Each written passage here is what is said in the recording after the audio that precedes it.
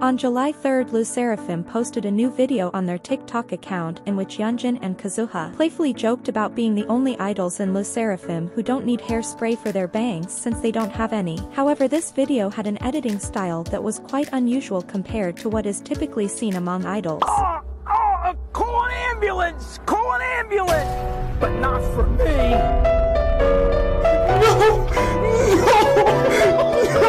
Both the editing style and the filters used made people think that the video belonged to a fan account rather than the official group's account. Some even believed that Yunjin took charge of the editing and jokingly remarked that this was what Yunjin meant. When she talked about wanting to change the idol industry. I want to change the idol industry.